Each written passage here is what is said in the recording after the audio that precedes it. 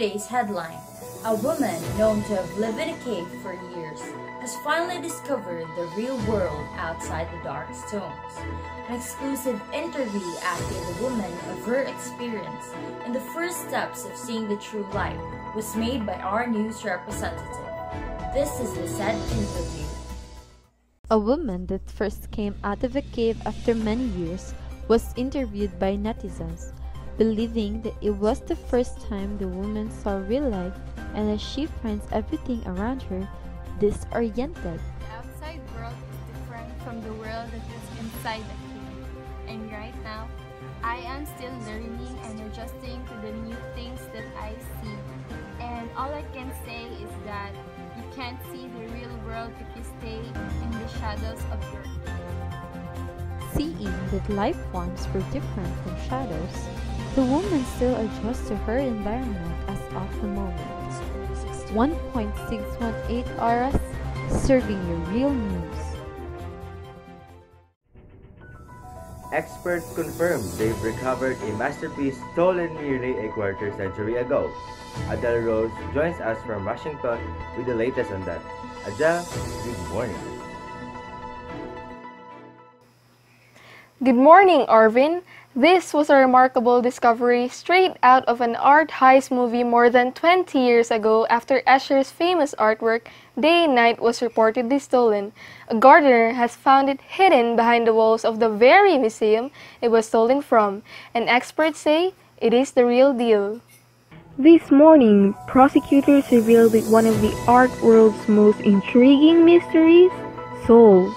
Escher's famous artwork Day and Night worth $2 million finally found. The artwork was stolen from the National Art Museum in Washington, D.C. more than 20 years ago and it was discovered here. A gardener while cleaning noticed a small panel door last September. Behind it lay the masterpiece hidden in a plastic bag in the external wall of the very same gallery it was stolen from. A woodcut in black and gray printed from two blocks measuring 39.2 cm long and 67.6 cm wide. It was one of Escher's first prints to show the tessellated tile approach, covering a plane using geometric shapes with no overlaps and no gaps. The white flock of birds flying above the ground merged with the daylight sky. On the left and to the right, the block flock blends to create the night sky. After carrying out extensive non-invasive tests and using high-tech x-rays, art experts confirm its authenticity. The artwork now is placed back in its original place. Arvin? New talent show Masinik sa Musika at Sayawan gains more than 10 million viewers in its fifth day of airing. Here's Jam for more details. Last October 10, 2020, the newest unique talent show of ABC, Mathinig sa Musika at Sayawan, has just started airing. With its first day, it already gained more than 2 million viewers and gradually growing in number. And in its fifth day, they garnered more than 10 million viewers. Netizens were really delighted by the idea of the talent show since it has application in mathematics. Some just couldn't hide their excitements for the next episodes. But some criticized the show for having a complicated concept. Why not just make it simple dancing and playing of instruments or simple singing? commented one of the netizens. The sad show is hosted by the actress dancer Kath D together with the judges mathematician, singer, songwriter Hanin GH and mathematician dance enthusiast Chilane.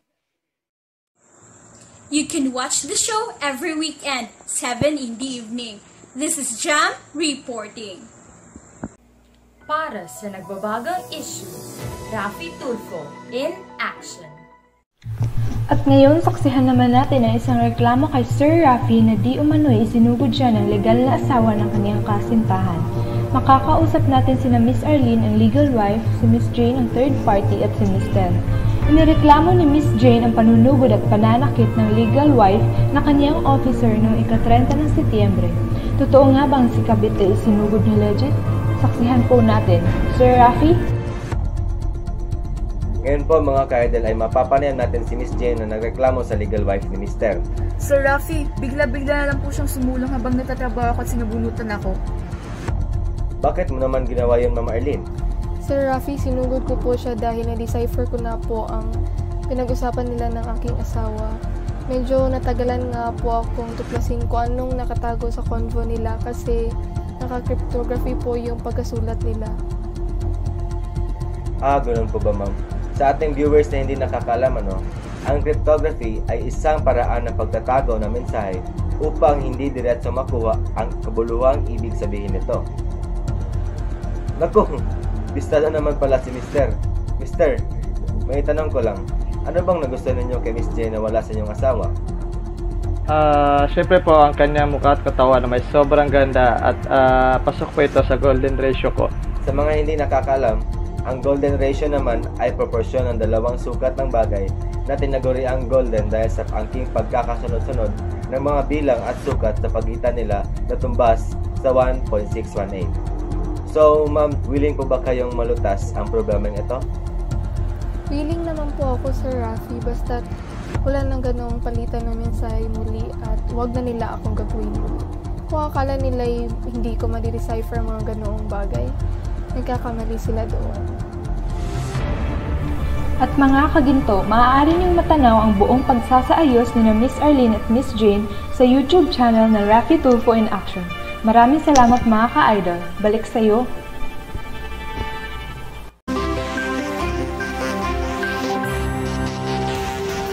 Konting kaalaman, alam niyo ba na ikadalawamput tatlo ng Nobyembre ay pinagdiriwang ang Fibonacci Day? Ang dahilan kung pagsamahin natin ang katumbas na numero ng Nobyembre na 11 at ang petsang 23, makukuha natin ang unang apat na numero sa Fibonacci sequence. Ang Fibonacci sequence ay isang pagkasunod-sunod ng mga numero kung saan ang bawat bilang ay katumbas ng kabuuan ng dalawang naunang numero. Ito ay pinangalan sa, sa nagpakilala nito noong ikalabing dalawang siglo na isang Italianong matematiko na si Leonardo Fibonacci. Ito po si Kuya Kim nagsasabing mag-aral ng maigi upang buhay ay bumuti. And now, for our showbiz segment, we have Boy Gibunda together with his guest.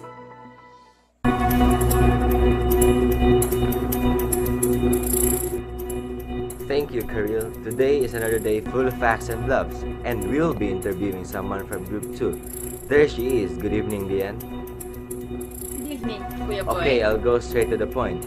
This is Fast Talk, and you should answer me with true or false. Got it. True or false?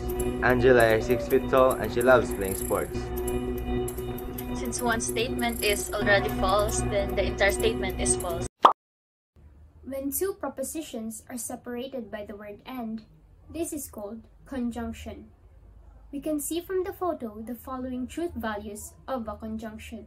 She's only 5 feet. If Nadine is a freshman of BSA, then she has a GEC one of her class. True.